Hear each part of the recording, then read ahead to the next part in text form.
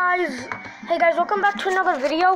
See i don't know if you're supposed to be able to do this or not but in cuphead i just beat candy girl and yeah i haven't beaten any other boss yet. Uh, but if, when i go through this tent i saw a video earlier that talked about a shortcut. I go through the shortcut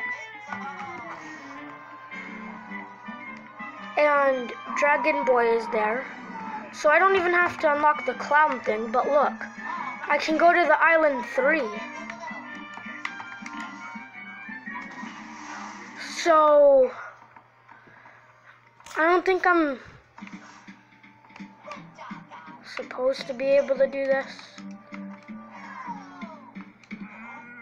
So, oh, never mind. Well, I...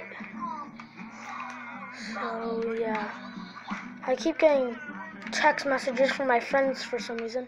Uh, but yeah, that's the end, and goodbye.